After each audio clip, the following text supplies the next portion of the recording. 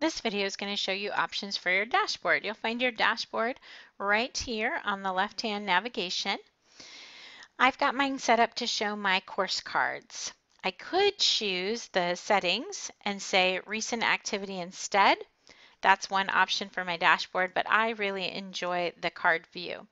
I can change the colors of these cards by clicking the three dots, changing the color. I can even rename them if I want to, give them a nickname for myself. If I ever change my mind, um, let's say I put a nickname there, if I ever change my mind, I can just come in, take off what I typed, oops, sorry, take off what I typed and it will default back to the correct um, name. There's You won't accidentally delete that name. So once I've got it the way I want, I just say apply and now I've got my different colors. Um, this matters because on the calendar, these are the colors that the calendar is going to use. So I try to get very different colors. So on the calendar, it's very easy for me to see what is what.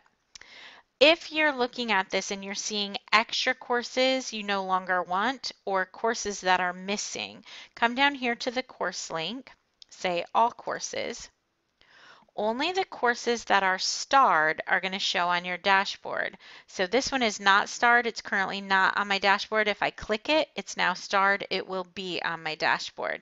So I can star the ones I want on my dashboard and I can unstar the ones I no longer want to see.